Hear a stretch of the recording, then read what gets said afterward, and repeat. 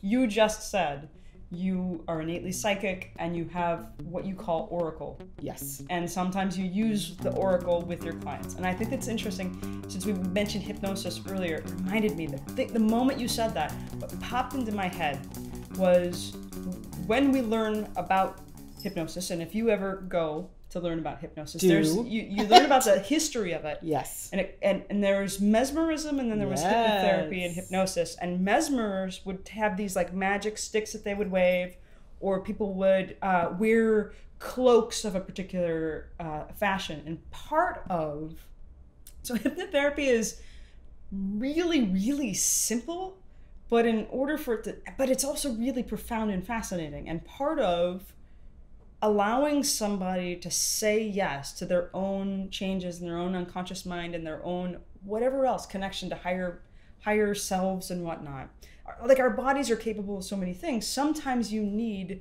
the theater there to help you um, break past your critical mind Yep. and all of your judgments. And if you're going for someone to help, and I'm not, I'm not saying whether you're psychic or not. I'm saying what's awesome is whether you believe it or not. What happens for people when you say that there's some external thing, some oracle, some source, or if you say that you're a hypnotherapist and you show up in a with like a fancy, fancy magic wands or whatever to help somebody with their process, it gets people into state to just say a different level of yes. Absolutely, and I think that that can kind of play into the old uh, and infamous, and definitely from way back in the basics of hypnosis.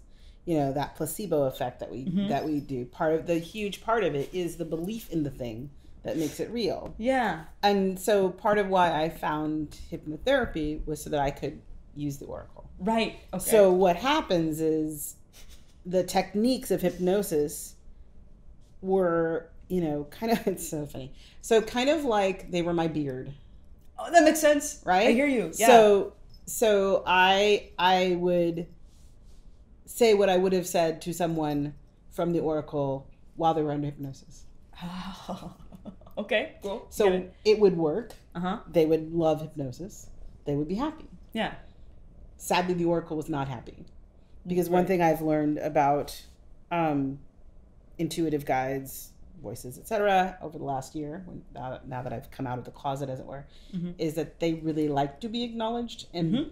and when they are acknowledged the flow of information is swift and clear Well, and there's a certain level of uh, disease, disease, and I, maybe you like literally for you, but um, a common theme with any entrepreneur is if they're denying, or anyone really, if they're Yes. denying some part of themselves, some some access or flow or something central to who they are and how they are in the world, there's that that's going to build up, and hopefully you get there before you have cancer, right? Or, or absolutely something yeah yeah and, and i think you know and, and that's the you know that's kind of what is it the that's the worst case scenario which i like to say Right. Yeah. the the least case scenario is you're just not very good You're not good. you're not There's no good flow in your you're not yeah you're you're you're muddying up the works